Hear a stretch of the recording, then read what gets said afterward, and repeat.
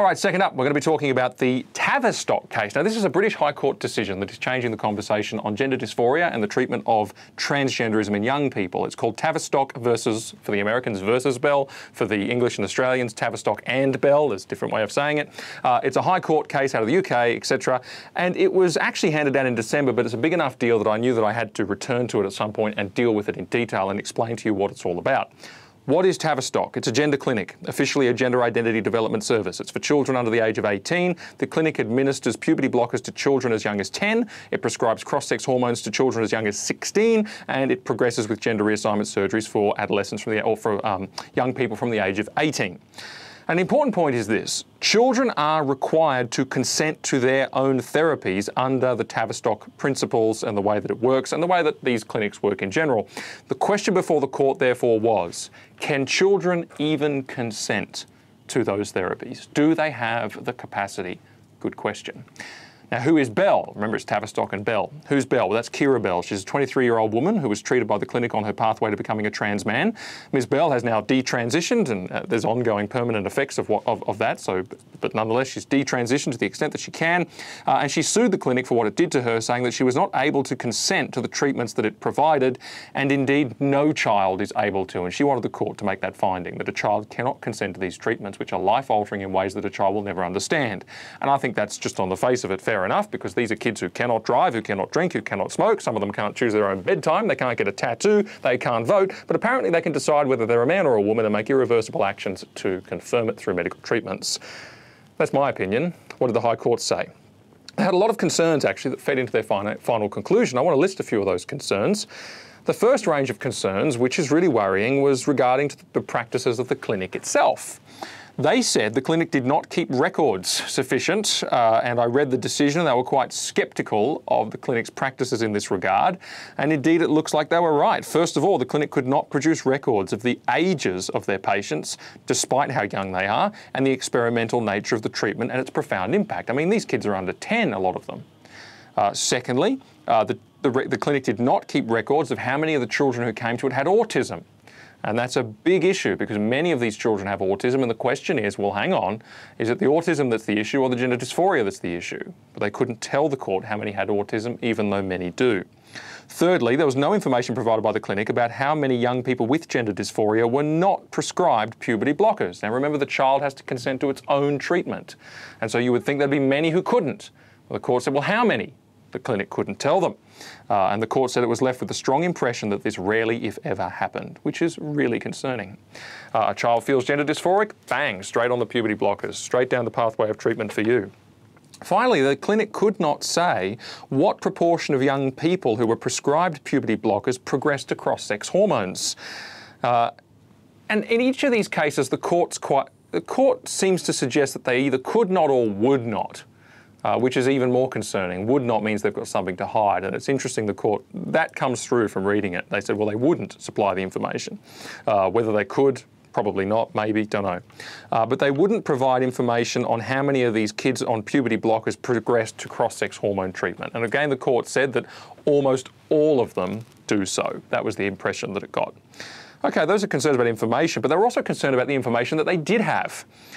And here's some of it. Between July 2019 and June 2020, so roughly a 12 month period, 161 children were referred to the clinic for puberty blockers. 26 of those children were under 13 years of age, and well over 50% of them were under 16 years of age.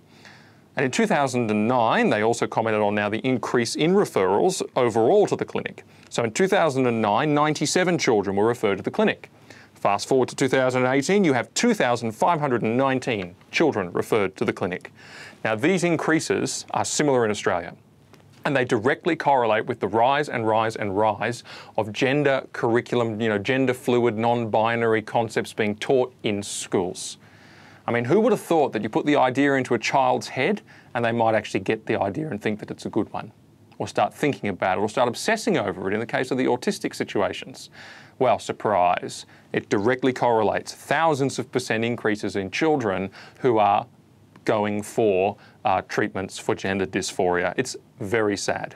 There's a surge in female referrals. The court noted that in 2011 it was a 50 50 gender split between ma- males and females in patients. By 2019, so not that many years, was that eight years or something? 76%, more than three quarters of patients were female. That is also a global trend, and there's specific reasons why young girls might be more vulnerable to these sorts of narratives. Again, it's very, very sad. More broadly, however, referring to the evidence for pu- puberty blocker treatment in general, the court said the following. The court said puberty blockers cause a person to miss a period of normal adolescent development which can never be recovered or reversed. Now, that's important. Can never be recovered or reversed. They miss a period of normal adolescent development. They said that puberty blockers almost always result in a person progressing to cross sex hormones, which are, quote, to a very significant degree not reversible. Okay, so that pretty much is the guaranteed pathway, except in rare cases. They said they agreed that there is no firm evidence to demonstrate the efficacy of puberty blockers, nor to properly understand their short and long term consequences. They made the point there's barely any literature to help understand what are the consequences of these, these, these treat, this treatment long term. It's very hard to say. They also agreed that puberty blockers cause gender dysphoria to persist, or they suggested it was a strong possibility. Because of the evidence that if you don't use puberty blockers, the issue resolves itself in the vast majority of young people. And in this way, they speculated that puberty blockers may be confirming gender dysphoria by ensuring that that young person does not experience adolescence. That is also concerning. They said that the consequences of the treatment are, quote, highly complex and potentially lifelong and life changing in the most fundamental way imaginable. Now, they also made the point that gender dysphoria is not a physically manifesting um, condition, it's psychological. And yet, the treatments have uh, biological and physiological consequences, which did, doesn't seem to make sense. Look, I say all that. This is what the High Court of the United Kingdom is saying. I say all that because we need to really come face to face with how serious this matter is. Um, and the court was therefore well and truly doubting whether a child can consent to puberty blocker treatment. And specific factors they mentioned they were concerned over were one, the fact that the consequences are not even fully understood by adults.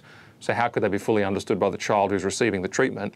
Secondly, there is a clear connection between puberty blockers, then cross sex hormones, then surgery.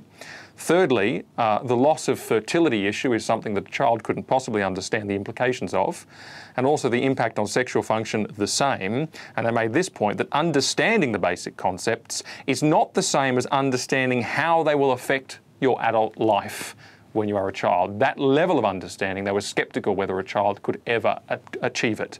And they concluded that for a young person under 16, there would be enormous difficulties understanding and weighing the implications of puberty blocker treatment. For children between 14 and 15, they said it was doubtful they could consent. For children under 13, they said it was, they said it was highly unlikely.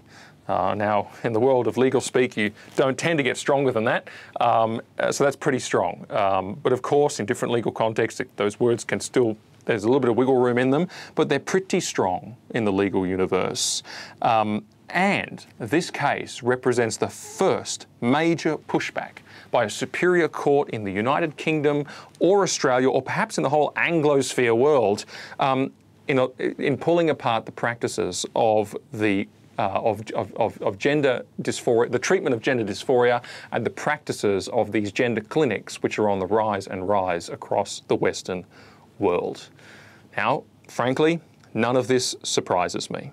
And the truth is, it's not just because of the activists in the schools. The activists are simply reaping a harvest from very, very ripe fields because they are answering questions to which children have no alternative answers. In other words, what is a man? What is a woman? No one has the guts to answer the question except the gender bending activists going into your child's school or writing books for the book club, or writing scripts for Disney, and all this kind of stuff.